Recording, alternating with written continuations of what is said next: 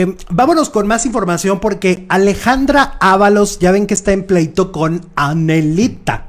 Con Anel, Anel Noreña. Anelita. Anel Noreña. Ya ves que Anel dijo que la iba a demandar por, eh, por habladora y por metiche, ¿no? Porque andar hablando mal de su familia. Que yo digo, pues alguien le tiene que pasar el memorándum a Anel de que ya no era su marido.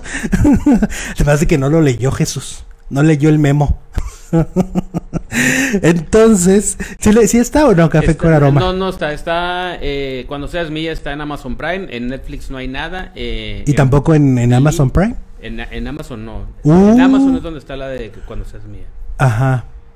y No, voy pues- a ir a Blim a ver si hay. No, no creo. No, ¿verdad? Es el No, hay menos. Bueno, entonces Anel, eh, pues se supone que iba a denunciar y va a demandar a, a esta Alejandra Ábalos. Pues ya contestó Alejandra Ábalos. Porque ya ves que ayer hizo misa, ¿no? Para, para, don, para don Pepe Pepe. Justamente por el año que se cumplió. Pues entonces declaró lo siguiente. Dijo, estoy tranquila.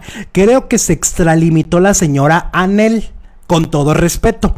Se lo digo. Espero que considere y reconsidere no, acción, no hacer acción legal ante algo que es evidente, que es mi amistad y relación que tuve con José José, porque eso es mi derecho y como ser humano también mi derecho de expresarme de lo que viví con José José. Y es que también Alejandra está como más del lado de las aras, ¿no? De las malditas aras. Y del hijo, ¿no? Ajá, de, de- del colombiano, del supuesto hijo, ¿no? Dice, pues tan malo el pinto como el colorado. Una porque ya no era su esposa y la otra porque qué demonios anda haciendo ahí. por metiche. Nadie la llama. Mis opiniones no deberían de considerarse ninguna ofensa para nadie. Dice, desde su inicio, desde dado- darlo a conocer públicamente, ya son errores de proceso muy graves. Eh, tú no puedes dar a, a conocer una demanda.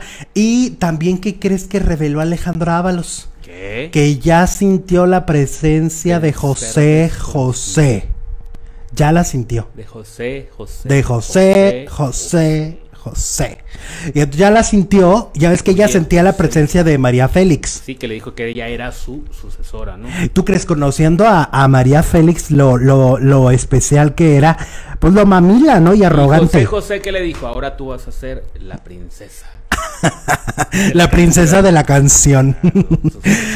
Pues no sé, pero ella dice que sintió la presencia, que ahora que le hizo la misa, que ahí sintió a don Pepe Pepe. ¿Cómo ves?